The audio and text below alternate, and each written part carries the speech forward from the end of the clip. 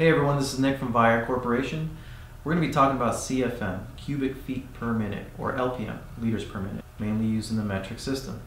Uh, in easier terms, CFM stands for the amount of air coming out of the compressor. Here I have two examples, the 400p and the 450p. The 400p is going to fill faster because it has 2.3 CFM. So it has a higher CFM but less duty cycle, which is 33%. On the other hand, we have the 450p, which is 1.8 CFM and 100% duty cycle. So it can run for a longer time before it needs to rest, but it's not going to fill as fast. In our industry, it's common practice to skew the numbers a bit in regards to CFM. Here at Viair, we pride ourselves in being very conservative with our numbers. For example, most compressor manufacturers test the air coming out of the compressor unrestricted. We, on the other hand, have a leader hose and check valve in place to get more accurate real-world numbers. For more information on CFM, visit the link below, and thanks for watching.